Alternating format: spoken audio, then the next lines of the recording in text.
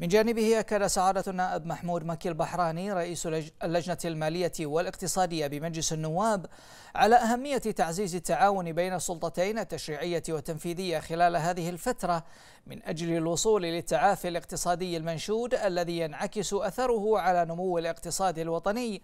وعودة العمل على تنفيذ مبادرات برنامج التوازن المالي للوصول للتوازن بين المصروفات والإيرادات وبالتالي الانتعاش الاقتصادي بما يحقق النماء والخير للوطن والمواطنين. وقال إن اللجنة المالية والاقتصادية بمجلس النواب تضع في أولوياتها العمل بالشراكة مع السلطة التشريعية من أجل تحقيق التعافي الاقتصادي للمملكة وفق مبادرات تضع في الحسبان مصلحة الوطن والمواطن في المقام الأول مع أهمية عدم تأثر ذوي الدخل المحدود منوها بأن ما تم استعراضه اليوم من مبادرات لخفض المصروفات وتنمية الإيرادات غير النفطية خلال الاجتماع مع الفريق الحكومي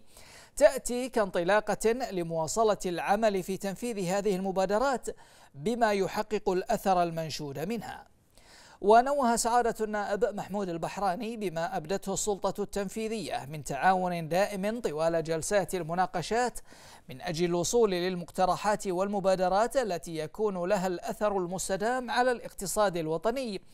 وسرعة التعافي مع عدم المساس بالمواطن بأي تأثير جراء تنفيذها.